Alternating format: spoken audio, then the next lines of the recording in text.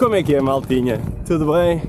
Então, hoje estou a fazer aqui um vídeo para vocês, em Sines, como vocês podem ver, a empréstimo do nosso amigo Ricardo Lino, tão conhecido aí no YouTube. Uh, ele emprestou-me uns patins completos com um chassi de 3 rodas de 110, curtinho, que é como eu gosto de andar a brincar, com uma pequena particularidade interessante, que é tem travões. E eu utilizo este comandinho para travar. E temos esta peça e esta peça. E estas peças quando eu clico aqui mexem e fazem pressão.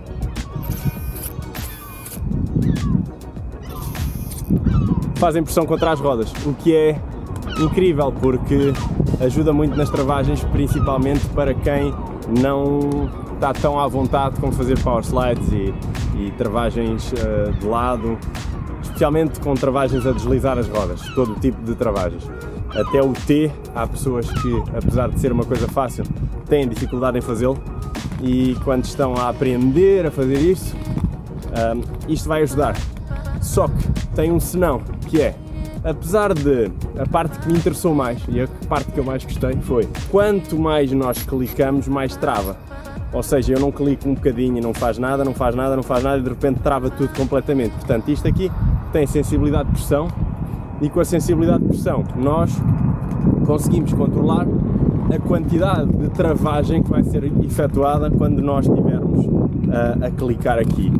E isso é muito útil para, para não cairmos para a frente porque isto ia travar os pés completamente se eu clicar a fundo. Neste momento estou aqui nesta zona tão bonita que eu tanto gosto, cheia de gatinhos, a ver aqui como é que isto funciona melhor. Eu ontem estive a experimentá-los e gostei da experiência, foi fixe, mas não deu para ter uma noção perfeita porque só tinha um dos travões carregados.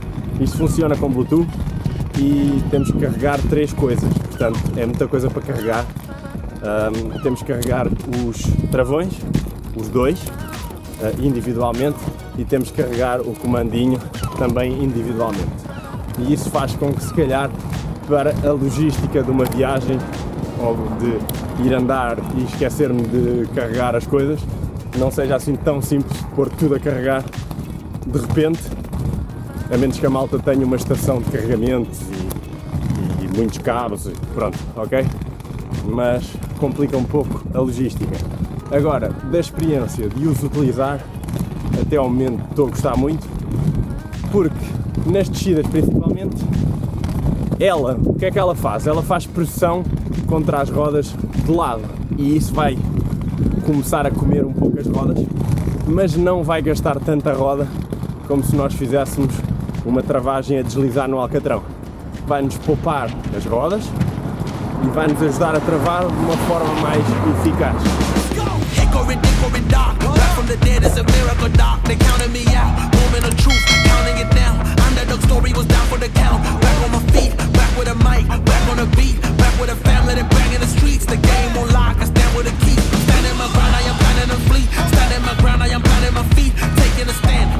Destiny, shaking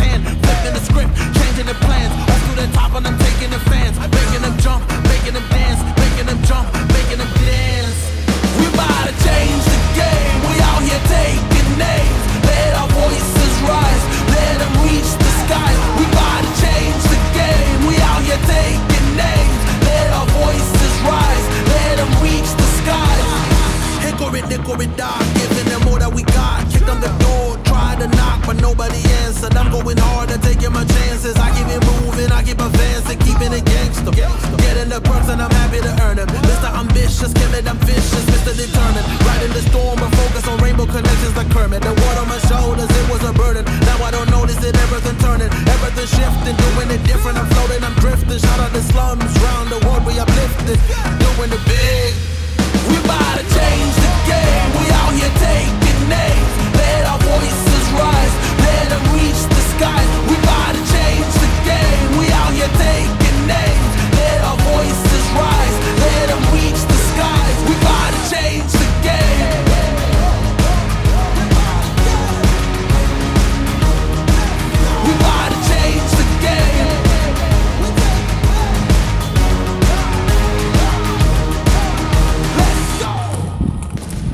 Travou.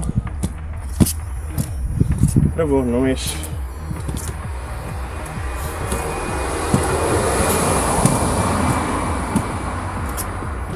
Está fixe, mano. A clicar. Está a travar. Esqueçam. Parei de travar. Eu consigo subir, mas a travar é mais fácil.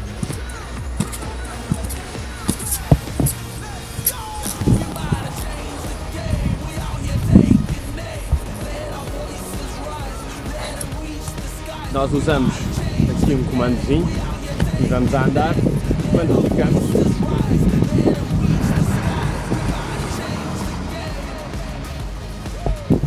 Simples.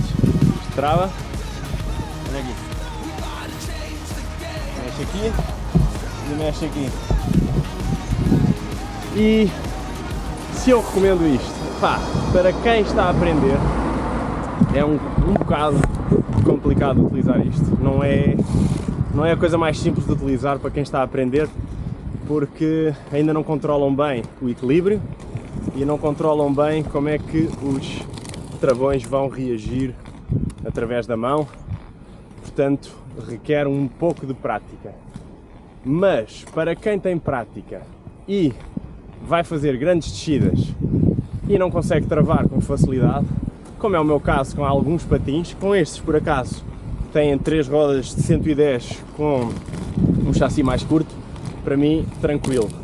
Quando é com o meu chassi de viagens, basicamente, o patinho que eu uso para fazer as viagens longas, aí é mais complicado para mim travar, porque a minha experiência é de patins de hockey em patins, com quatro rodas, quad, uh, os, os famosos quad, e eu normalmente virava-me e travava com o travão, uh, em situações de emergência e eu não tenho ainda a facilidade de fazer umas travagens de lado com rodas em linha comparativamente com os quad, que para mim é extremamente fácil de fazer porque tenho muitos anos a patinar neles. Mas para quem tem experiência e vai fazer isso, recomendo, apesar de pesarem e de não ser extremamente necessário para quem tem experiência.